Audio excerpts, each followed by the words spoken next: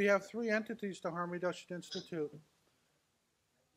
We have Sex, Harm Reduction Institute, the AIDS Brigade, which does the work of harm reduction and syringe exchange and overdose prevention. We have Sex Workers Advocacy Network, which is a project directed by my wife, Teresa McCorkle, that works with sex workers, people in the sex industry, film industry, brothels throughout the state of Indiana. And we have Empower, which is our publishing arm, in which we publish educational materials. Just in the last two years, we started doing overdose prevention, but I'll share that a little bit later. I have to read some of the things. We had um, one time we serve we do syringe exchange. We actually don't do actual syringe exchange. We do syringe distribution. We do wholesale distribution. So if you come to us and you need 100 syringes, that's what we give you. We find out how you use your drugs, whatever that drug of choice is. If it's heroin, if you use three or four times a day, what we do is we multiply that by seven and give you what you need for the week. That's if you come to us the first time. The second time that you come to us, we ask you how many do you do drugs with your friends or your partners or significant others. And if you say yes, then we will give you enough to take care of their, your partner's needs or your community's needs. If that means that you need a thousand syringes from us and sharps containers, all the supplies necessary to do harm reduction, that's what we give you.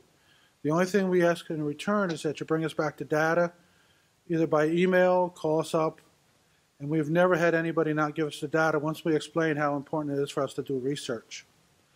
Um, as you see, we're very research um, based. Um, our participants, we had 54 drug reversals, 14 drug reversals in 2010. We have now we're up to 30 drug reversals. We give naloxone to people. Under the federal law, we're allowed to distribute naloxone because it's not a federally regulated drug um, we have to get it from the pharmacy through a doctor, but then we're allowed to distribute it. If I'm arrested doing it, the only thing they can get me on is distributing with um, medicine without a license. And um, the lawyers have assured me if I go to court on that charge, I'm only saving people's lives by giving them the naloxone. I train people how to use it. And as I said, we have 30 drug reversals so far this year, last year and this year included. And we're real proud of that. And we just had one the other day before I came here and we can we document all that through the emergency room. Um, 43% male, 47% female, transgendered is 10%. Our transgender population, we distribute a lot of syringes to them because they do silicone injections for their faces, for their body, and a lot of them are um, using meth. 23% African Americans, 55% Caucasians, 15% Hispanics, 3% African American. Other Africans, we serve a lot of people from um, South Africa and from other African nations. Um, one of the things that's caused a problem for me in the community is um, some groups have said I don't serve enough African Americans. So my answer to the minority-based community groups is I will give you all the syringes you need, all the supplies you need, er, everything you need to do harm reduction, you serve your own community if you think I'm not doing good enough. Nobody's ever taken me up on that offer. They come up with all kinds of excuses. They have to get permission from the police, from the ministers, from other community leaders. Um, I've never sought permission from anybody to do this work. I only sought permission from the people that I serve, um, my family. I call them my families. We, we use participants just because we have to get grants and funding but for me, they're my family members, and they come to my home. We have some basic rules when they come to my home. We ask them don't bring any weapons, and don't bring any drugs into my home. Leave them out in your car. And if you disrespect me, then you're not welcome to my home. I'll come to you and the community. But if I invite you into my home, I don't want you to bring any weapons in my home or open drugs, or you're not allowed to do drugs in my home. And if they can't respect me, then I go to people in the community and I serve their needs wherever they want me to go to. But it's just give and take. It's a mutual respect. I give people respect and I expect respect back. We don't ask anybody to bring any syringes to us. I find it interesting that the only population that's been forced to bring a deadly instrument across town is drug users. We don't force white gay men or black gay men to carry a dirty condom across town to get a condom. But somehow we tell drug users the responsible thing for that drug user is to carry a syringe across the neighborhood. That's not good public health policy. And then the public health department says, well, they don't dispose of them properly. I provide sharps containers. But where do you think diabetics throw their syringes? They throw them in a garbage can. Public health policy leaders aren't worried about diabetics. If they're so concerned about it, I can get the uh, fit packs for $1.50 of each. And then get them for a dollar and a quarter. The cheapest I ever been able to get a fit pack that she showed earlier in her presentation is it's a dollar twenty-five. I get them through day purchase through the network, the North American Syringe Exchange Network, which is a network of all the syringe exchange projects in North America. We sort of work together. Like um, in Oklahoma, all their syringes blew away last year in a tornado. So we sent them 10,000. In return, they sent us back 15,000 condoms from their public health department. Oops, the public health department just found that out. um, our, our, participants used 37% heroin, um, 5% other drugs with heroin, heroin and cocaine, 33 meth, 30% crack, 5%, and you can inject crack. The danger of injecting crack is that um, if you don't cut it and you don't cut it down properly, it can harden in your vein, you go straight to your heart, and you could die. So we educate people how to do it properly using um, lemon oil and, and lemon juice. Insulin, 5%. We get we serve a, we have a lot of illegal aliens in our community and undocumented people, and they can't afford to go to a doctor for some obvious reasons. So we provide a lot of diabetic syringes to them. Silicone, a lot of people inject silicone hormones. A lot of people do hormone injections. So we take care of everybody's needs, and at least we try to do the best we can. Um, we exchanged and distributed 72,000 syringes last year. We could do a million syringes in our state. We just don't have the funding base to do that, even though they're seven and a half cents, eight cents a piece. We just don't have the funding to do that. We do all our work is done through a network. We have the largest network of peer-to-peer exchanges in the Midwest. We educate people how to. People have been doing syringe exchange for years. They don't need a lot of education. All we ask people is do don't sell the syringes that we provide to you and don't rent them. If we find out people rent syringes or, or sell them to other people, we will cut that one person off but we won't cut the rest of his community off that is getting syringes. We make it clear you can come to us. So if anybody has a bitch and a complaint about, they go to the person that they were getting syringes from originally, and that stops it. Plus, we're a capitalist country, and people aren't going to buy what they can get for free.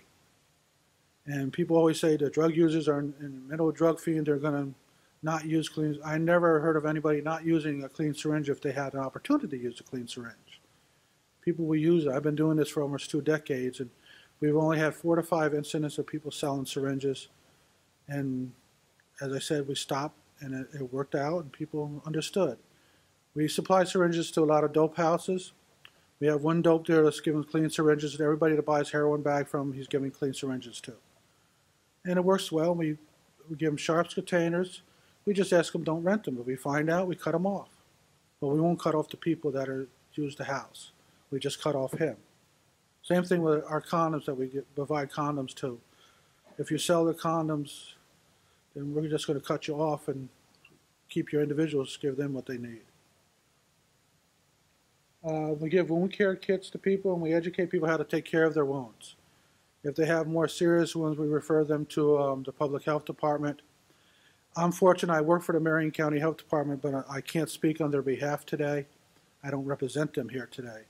But I've been with them for almost 18 years, and I've been doing this work for almost two decades.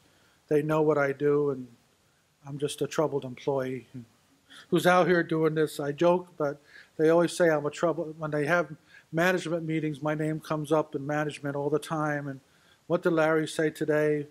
What did Larry say on CNN? And why did Larry approach President Obama and hand him a sharps container and said, "Get on with and do what you have to do, lift the ban, and put money why does he do these things? But I just do them anyway. What can they do to me? Um, we give fit packs, as I said, 3,400 pick packs. We exchange it. We just gave out.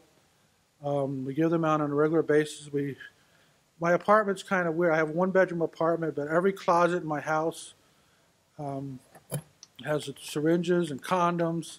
So I have to move some out to make room for my wife's clothes, or I would not be able to sleep in my bedroom, so I let her have the walk-in closet, and I took part of the living room and we turned it into a storage area. So we have boxes and boxes of supplies and stuff, and it's it's a strange situation. Um, we just we also give out crack kits. They're rubber tips. I try to bring my kits with me, but I've walked out of the house without them. They're just rubber um, carburetor tips. We give them out to people to put over their pipes so they don't burn their lips. Um, and we are getting some cases of um, actual crack pipes from Canada. Canada gives them, they're more progressive than we are. They actually give out the pipes. But um, I don't want to be that aggressive. It's hard to going to jail. Um, we give out safe injection kits. They have all the supplies in them. So they can use one-use kits. We refer a lot of people to testing sites throughout the community, throughout the state. Um, the Medicare providers, we refer anybody that wants treatment or any kind of medical services, we refer a lot of people to services. Um, we support all kinds of treatment, whatever people want. 12 step religious based treatment, therapeutic communities. Anytime people want treatment, we'll do the best that we can. If they don't want any treatment, that's on, we just say thank you. We just continue to use safely. Um, uh, we also, um, I'm going to talk about this Sex Workers Advocacy Network. Um, we serve 325 active sex workers.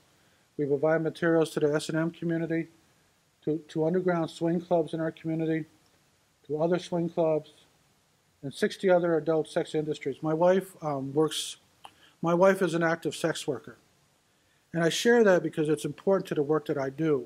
I had to get over that stigma of my, I knew what my wife was when I married her. She was a sex worker. So I had to be, as a man, I had a male, I had to get over that stigma. So for me, it's about business for her. It's not about love or relationships. For me, her, it's about business. And she works in an adult bookstore. And she also does sex. So I had I had to go home and deal with that mentally in my own head. So that's fine. I've, I've overcome that. It's about a business to me. I know who she comes home to every night. And when I share that at conferences and talked about it, they say, how could you stand that of your wife? For me, you know, it's, I love my wife. It's about business. It's like any other business that she just happens to provide a service. And she also is the co-director of Harm Reduction Institute, and I've been with her for nine years. I've been living with AIDS for over um, 23 years. I've been in recovery. I, I use other substances for my health. I use uh, cannabis for my health, and I use other drugs when I want to use other drugs. I just don't inject heroin today, and I'm very proud of that. I I made a decision years ago in my life that I didn't feel like doing that anymore in my life. But I'm no better than the people that I serve. So I just, like I said, I use participants because I'm forced by grants to use that. But for me, they're my family. They're really only family I've known. I grew up in a, I tell you a little bit about myself. I grew up in an organized crime family in New York City. Um, around mobsters all my life, around gangsters. I sold dope most of my adult life. I made millions of dollars, lots of money myself and my family. Um, I lost everything when I became when I became positive and stopped using drugs. I lost everything. But today I, am a very grateful person. I rather live on I, I, I live in a one bedroom apartment and I'm happy. I'm living with AIDS, but I'm a happy person. I wouldn't go back to all that money and my family if you paid me anything in my life. I just live my life one day at a time, the best that I can, and paying it forward to my community has been doing what I'm doing today. I get criticized a lot. My, my biggest opponents aren't the police, aren't the general public. It's the AIDS community themselves because I'm an embarrassment to them. I simply say to, why do I have to do this work? You get funding to do this work. You get multi millions of dollars to provide service to the community. You should be doing this. But they've decided in their wisdom, and the CDC's wisdom today is to serve the needs of men having sex with men. That's what most of their money is going to go to next year in your communities. So when you see your fund, your groups short funded and not getting funded next year, you simply can say that's the president's national AIDS policy strategy working. That's what we've been given. I heard so much today, I, I interject my, what I say with politics because it's important. When you look at the national strategy on AIDS, there's no funding attached to it. There's no money attached to it. It's just a strategy. But we need more from the president. We need more from the Congress. We need leadership. And that's where you all come in when you go back to your community, demand funding. Say to your aid agencies, if you have drug users in your community, demand action, demand service. Or find some activists that are willing to do it in your community. We're, we're always around. I'm willing to come to any state to talk. If you just help me out, I'll come and share whatever I have with you. And if you need supplies, you can email me. You got my information. I'll send you whatever supplies you need. I don't have any money, but I can send you supplies. If you need a thousand syringes, I ship them. Um, you're allowed to ship syringes UPS or FedEx. If you're a wise, a word to the wise, don't ever ship syringes by United States mail. They will arrest you for violation of Federal Paraphernalia Act. But UPS, if you mark on the box medical supplies, it's okay. I've just an experience I've learned over doing this work. That's how you ship things. Um, this is for our, um, the project with Sex Workers Advocacy Network. Um, same thing. We also have Empower, which is our educational arm. We, we provide materials to some groups in our city that we provide in our state, that we provide in materials and educational documents too. Um, right now, we're, we're about to start a national campaign through, with Harm Reduction Coalition.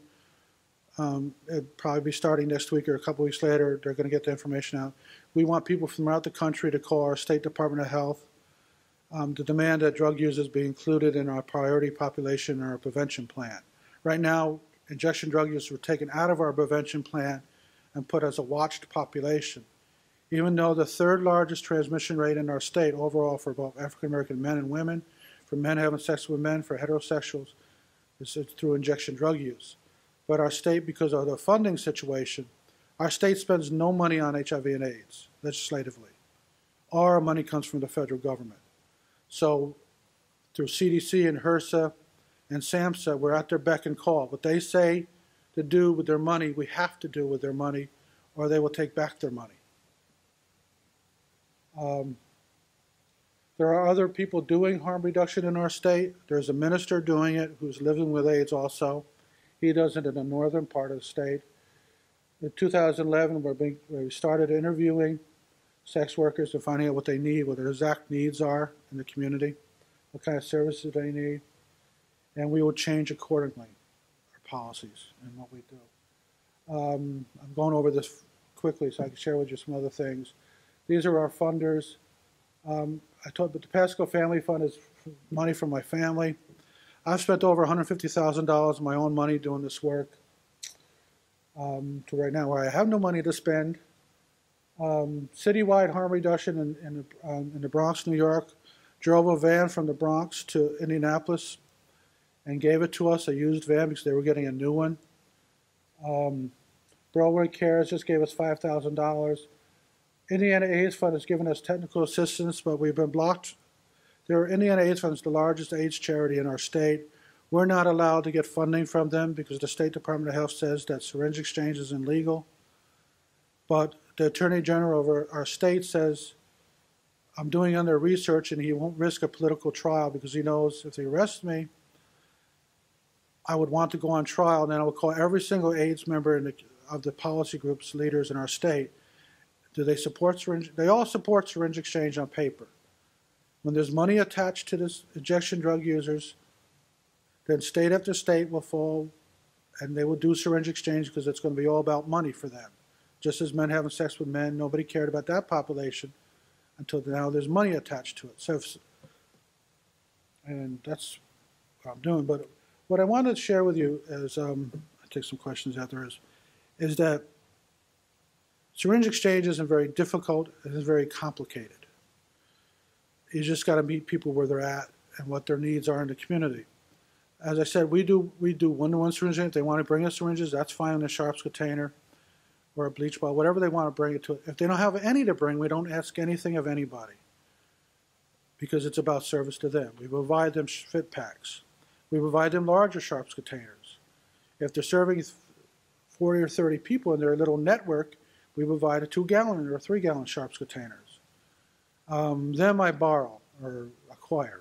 I acquire lots of stuff. I have a lot of doctors who let me in their medical supply rooms.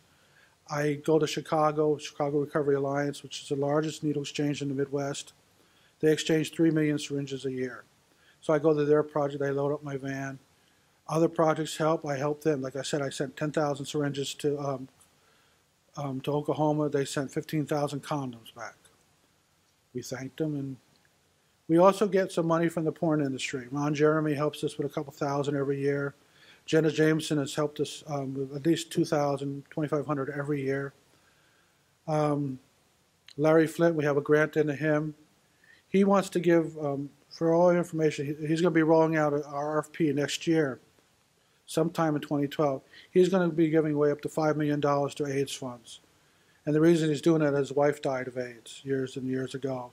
So he's going to be giving a lot of money away and we've had some, we've been attacked by some women's groups at the university. Why do I take porn money?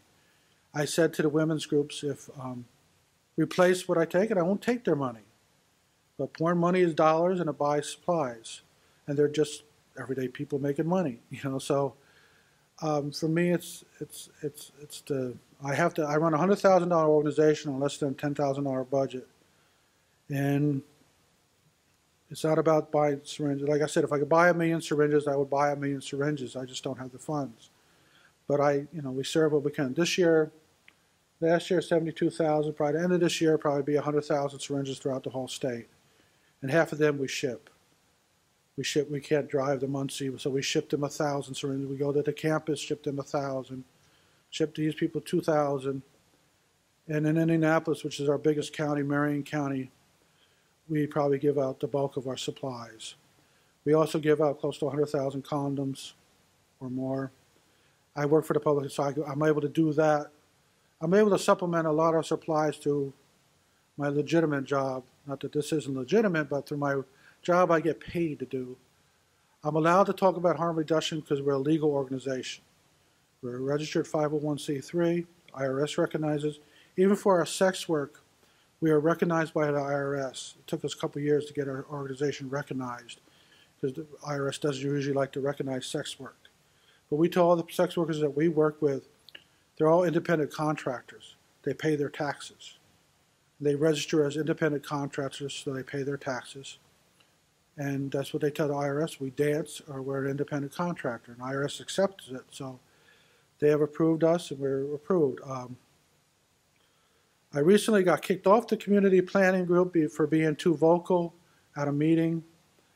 I called the health commissioner of our state a racist. I said if the majority of, of people becoming infected in our state were white, he would care. But because they're people of color, he doesn't care. He said, You can't call me. I said, I did call you a racist, so what are you going to do? Um, we have a epidemic of hepatitis C in our state, all young people, all young whites between the ages of 18 to 30. These young people have, don't have histories of drinking. There is no other correlation but they injected drugs. They started at 15 or 16, 17. So because of that history, now they have hepatitis C. All this could have been prevented. I'm an activist for, with ACT UP years ago. I was one of the leaders of ACT UP. All this could have been prevented, this tragedy. We're 30 years into AIDS. All this could have been prevented if our government had only listened to the activists around the streets.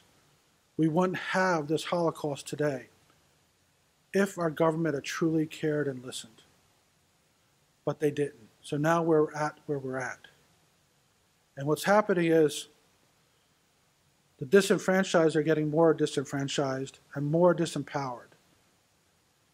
And what we have is a national strategy on paper, but with no money. We have the CDCs changing their whole policy direction where they're going to fund to get massive amounts of money to men having sex with men. It's true, men having sex with men is the largest mode of transmission. But you simply can't leave whole populations of people out. You can't say to the District of Columbia, which has one of the highest rates of HIV in the country, I'm sorry, but you're not going to get a lot of funding now. You can't say it to a community has a, a like District Columbia or any other large communities have uh, influx of injection drug users. I'm sorry, but your your time will come. I always say in my state, well, our time has come now. We're going to take what we want. So um, in Chicago, they cut, for example, they cut the budget by, um, last year, they tried to cut the budget for treatment for addicts um, by half. So what Chicago Recovery Alliance did is brought 500 active drug users, told them bring their little suitcases. They knew the commissioner of health would be there. All the pol- Mayor Daley was there. They all wanted treatment on the spot. So what the mayor had to do is call social workers from all over the state to interview every single 500 persons that were there. They found treatment for 250 people. So we asked them, if you found people, instant treatment for these people, you can't find treatment for the other 250? They didn't qualify. They weren't addicted enough. Um, we, like I said, we train people how to use an naloxone overdose prevention medication. It's technically legal because we're not violating. We need a script to get it from the pharmacy. We don't need a script to provide it to people in our community. The worst thing get me on is prescribing without a license.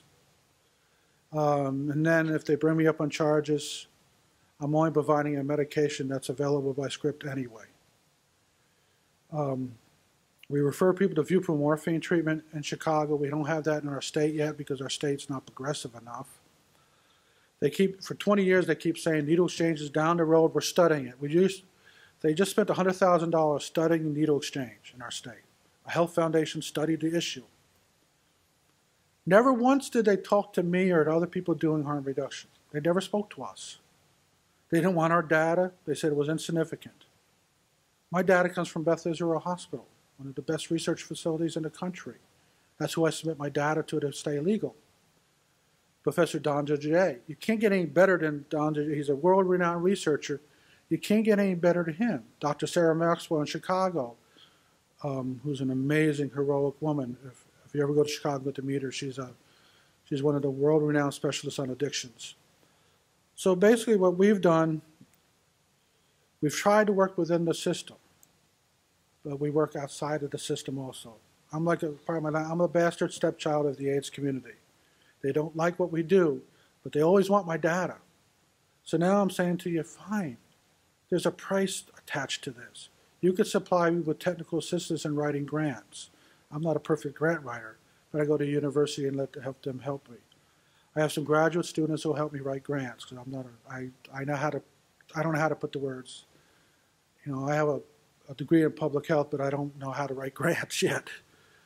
But um, like I said, I don't use any AIDS medications today. I just recently um, had a heart attack this year about three months ago. I have stents in me. Um, I had a stroke this year, so I had to learn how to walk on my right side, walk uh, partly again. But I do what I do because it's moral. Um, like I said, we have people come to our house. We meet people wherever they're at. Um, my wife takes care of people's kids. Um, if they need to go to treatment, we help them out the best that we can. We just have some basic fundamental rules. Uh, you know, um, the other guy spoke about outreach. Um, we don't give a lot of money to people. We give help to people. If people need food, we help them with food. We don't give cash because we don't have any cash ourselves. Me and my wife live from paycheck to paycheck. We supplement this work the best we can. So I hope I shared some stuff about harm reduction with you and about the importance of this work. It's for me, it's about paying forward to my community. It's about giving back. Uh, for other people, other people have other reasons for doing harm reduction, syringe exchange. And I understand people have to work within the system. I know Rhode Island, I know other states have to work through um, their legal system, through gatekeepers, and et cetera, and et cetera. I chose not to go that path.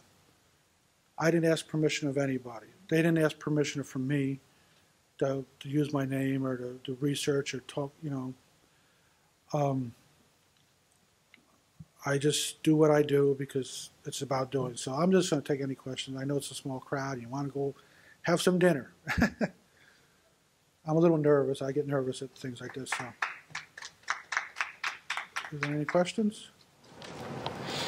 Uh, I wanted to talk about when you said you were kicked off the community planning group. Um, I don't know if you guys can hear me, but uh, in Delaware, we are, we are experiencing similar arguments, similar challenges um, as a result of the 12 Cities project, and we are not one of them. Uh, We have experienced severe cuts in our state on our HIV prevention programming. And um, as a result, the, there are few people, we actually think it's one, that makes the decision all by himself about how money should be allocated. And um, we did use words like, this is institutional racism, you know? Um, Nobody's been kicked off the planning group yet, but because the health department does actually fund the student planning group, it really does tie our, it, it really creates sort of shackles on us as activists for our own programs and disenfranchised people. Um, and, you know, it, now I was just wondering from you, you know, you seem like such a successful ad, advocate that works outside of the system. In this milieu, in this environment where you are actually kicked out of the community plan group, which would be devastating. I mean, that seems like they're really losing a really strong voice. What are your other routes? Well, actually, if you, if you really know the history of the community planning groups, why the community planning groups were first started, they were start, they didn't, CDC didn't do this out of kindness, start this community planning group process. It's because of ACT UP and other activists demanded the inclusion. The CDC right now doesn't not, doesn't want the community planning groups in place. They're doing everything they can to either unfund them or not fund them, have them go to state funding. A lot of CPGs are going to, that the health departments run them and direct them. Well, it takes money to, supposedly it takes money to run a meeting. That's, I understand the pro- CPG process. They have to have, you have to pay other members to come from all throughout the state. Other states' CPGs are bigger. Our state, they come from all over the state. I understand that. And I understand that I, um, I've been a member of the CPG for 10 years. I understand they wanted fresh blood. I'm willing to accept it. So what I do is I simply go to meetings as a member of the public, and I ask for documents. I asked our State Department of Health for legal documents under the open meeting laws, and because it's a federal meeting. It's technically a CPGs, but people don't know. It's community planning groups. If you receive funding from your federal government, from CDC, to run a community planning group, they also have to obey not only the state laws, open meeting laws of that state, they also have to obey the federal laws governed by the Centers for Disease Control. They have a internal general, inspector general who handles complaints against that. They have to follow their law also and their policy. They have to supply you with every single document. So what I do is I request every single amount of paperwork from the State Department of Health concerning HIV and AIDS. They, they say there's other, for example, when I say there's, the third largest mode of transmission is injection drug users, they say that's factually true. The numbers are correct. But there's other factors. When you ask them what are other, other factors, it's economic, it's people not going to treatment when offered, and a whole bunch of excuses. But it doesn't erase the fact that, the, so I have other avenues I pursue. But the fact of the matter is, um, I'm, I'm sort of glad that I got asked to, re, to leave because it enables me to do other things and other activist type work. Um, I work out of the system, but I also ha- I know how to use the system. I use their data. All the data, that, data up here was my data, but I used their numbers. They produce the data that goes to the Centers for Disease Control. I use all their numbers against them. We have communities in our state, I don't know if it's the states, what they do here, or in Maryland or any other state. We have communities bidding to get prison systems built. Most of our prisons, 70% of our prison systems in the state of Indiana are privately owned, including the halfway houses are all privately owned. They trade on, on Wall Street, it's big money. So communities will fight to get prison systems built in the community. We had one community, a treatment center, offer to come in, take over an abandoned hospital, build a 250-bed treatment facility for women and children, have everything on board. Community said no. They tore down that property and built a private halfway house because that's what the community wants. It's about money. So people have to understand HIV and AIDS Uh, we have a prison system that, in our state, every prisoner enters the system is tested for HIV. So we have a system right now that says there was roughly 2,500 inmates tested positive going into the system. But yet, when you look at all these people returning to the community, there's hundreds and hundreds of more coming out of the prison system infected. The state says, well, that's the window period and you don't understand the process. Yeah, I don't understand the process. They had sex and they used drugs in prison, in a private prison system. Everybody knows that goes on in prison. You don't have to be a rocket scientist, but the communities, that's what they want. When it comes to HIV and AIDS, we, I was at a governor's conference. I, I walked in on a governor's conference when I had a public comment and I asked my questions. I asked Mitch Daniels, what is he doing about HIV and AIDS? He said, that's not my, that's not my purview. I'm not, not my area. Then when he said, well, some, he said, well, syringe exchange doesn't exist. I raised my hand and said, yes, it does. His attorney general said, looked at him and said, I wish you'd just not say anything about it. The man's here doing it. He's been doing it for two decades. If we arrest him, he's going to demand a trial. Like, um, I'm not afraid. I've been tried twice. I've been acquitted twice. In Boston, I was acquitted uh, along with John Parker. For those you don't know, John Parker is one of the first activists that did needle exchange in North America. Right now, he's in Vietnam doing syringe exchange. I've been invited to go to Cuba next year to, um, to help set up some needle exchanges if I can get the funding to go. They're going to allow me as a person with AIDS to come to Cuba. Cuba has, used to have very restrictive policies concerning people with AIDS. They used to imprison them and put them in quarantine. When Fidel Castro came to New York years ago, he met with activists from Streetworks and other projects, and he went back and changed his whole policy because he realized what he was doing was morally wrong. They still have repressive, some repressive activities, but they, at least they, they go on as far that they want activists to come in from Open Society and other groups to come in. Um, so for me, I, I mix what I do, I mix, I talk about politics, because it is about politics. If drug users, uh, I belong to the global network of people with AIDS, um, when the International AIDS Conference comes back to this country, I guarantee it's not going to be a pleasant little conference for people. There's going to be activism there. There's going to be ACT UP there, National AIDS Brigade, other groups there, because it's a platform for us to use. There's not going to be some pretty little event which a bunch of world leaders and Bill Gates can come to and give a bunch of money away. It's now time, we're 30 years into AIDS. Enough is enough. People, maybe people aren't dying in the numbers today, but people sure as hell are going without services. We, we don't have a waiting list in our state. Our state is so, CDC wants to concentrate on positive, positive prevention next year, wants to concentrate on testing. If a million people showed up in this country positive tomorrow, the system would go bankrupt. We can't handle the system. We can't handle that many people. If 3,000 people showed up in the state of Indiana positive tomorrow, the Ryan White program will go bankrupt. Our state can't take care of these people. It's estimated right now even 1,200 people showed up positive tomorrow in our state through testing programs. Our state can't take care of them people. And that's, you can look at state statistics, state after state, they can't handle the number of people. You can't take care of Ryan White funding now with people. It's the payer of last resort. Our state will pay for three days of treatment for people using the Ryan White system. You can't get HOPWA housing if you're an active drug user. You can't get HOPWA housing if you've been convicted of certain crimes. In our state, you could be arrested for selling sex on the street, and you can get a sex offenders, be registered on the sex offenders list. That's other states too. So once you register on the sex offenders list, you can't get housing in public housing.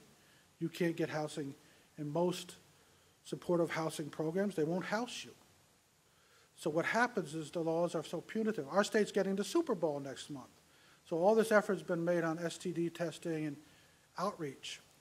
Every homeless person in our city in February for two weeks will have housing provided to them free of charge by the city of Indianapolis and by the Super Bowl committee. They will bus these people to motels. They've already rented the motels. They've ordered every outreach worker that works for the county to go out round up homeless people. They will get catered meals for two weeks. So 3,000 homeless people that they're going to round up all over our city will have a place to live for two weeks. Well, we said to the Super Bowl committee, and spending, spending $5 million on this, build supportive housing for $5 million. Super Bowl Committee came back and said, we're building you 500 homes for homeless people. Well, what they're doing is building 500 homes, going to place 500 homeless people in these homes with no support. These are people that have lived on the streets. They're going to provide no social care, not how to take care of their finances, how to take care of their bills, how to take care of their children, nothing. They're going to place all these people in new homes. And know what's going to happen to these homes in two years? They're all going to be wrecked. And what's going to happen? Developers are going to scoop in and scoop whole blocks of neighborhoods up. Cheap. We already told you that's what's going to happen. So we know what's, uh, uh, and developers are saying, we're, we're, we're going to build all these homes for these poor people. Fine. But in two years, I know it's going to happen. You're going to have all these homes back. And developers will then rent them to nice, white, middle-class people. And, and forget about the rest of us. I live in an apartment complex near the racetrack at Speedway, Indiana. Um, my apartment complex is trying to sell their apartment complex now because they realize 70% of the people that live in that apartment complex are working class people. We go to work every day, we pay our rent, but they're also another 30% African American, 15% others from Africa. And they want us all out of that apartment complex because now they want to upgrade it, upgrade the pools and everything else, so they want a nice suburban type people to live in these apartment complexes. Well, what they're realizing is people won't want to live there. So they're stuck with us. I have a two-year lease to protect it. I'm not moving out. I like living there. It's quiet. I have a few problems with the neighbors, but I don't bother anybody. Like I ask the drug users, people that come to family that come to my house for syringes, respect my house. Knock on my door and ring my doorbell. Just don't come up and pound on the door I had one two weeks ago pound on my door and I have some. I said, no, you're going to have to leave. And when you call me and, and act like a human being, come back and knock on my apartment and ring my doorbell, then I'll serve your needs. He said, well, I'm going to go use dirty. That's not on me. But if you want people want to be treated with respect, then act with respect. And that's what I say to the community that I serve. Going to close with that. I say to the people that I serve, when you go back to the communities, like, for example, in Chicago, where syringe exchange takes place, there's no crime for three hours in, the, in the, where the van goes to. It's like, oh, the police run stopped, crime stops. It's a high crime, one of the highest crime areas in Chicago that they go to. When the needle exchange vans comes in, there's no crime. Where does all that crime go to? The community pleases themselves and said they don't want it. I've told the community that I serve, don't do certain things. Don't come to our apartment complex and hang out in my parking lot and drink and do drugs. I won't serve your needs. I can't. I can't place my family, my wife, and her step, my stepdaughter, and anything in jeopardy. But if you want to come to my apartment and be treated as a human being, I'll treat you as my brother or my sister. If you need a place to stay, you're free to sleep on my floor. Out of respect, but respect me. Don't do no dope in my house. That's just, it's my house. I don't do, do stuff in your house, don't do it in my house. And if your house happens to be the street and I'm on the street serving your needs, at least treat me with respect. If you don't, I don't have to really do the best I can. So I close with that by saying if anybody wants to help us, we have our address. We, we, we're tax exempt, and if anybody knows where we can get a good computer system free, we put that out. So we put the message out, and like last year, we put the message out about the van, and people delivered a van to us. They didn't have to, but they drove it all the way, filled up with supplies. so I thank you for allowing me to share.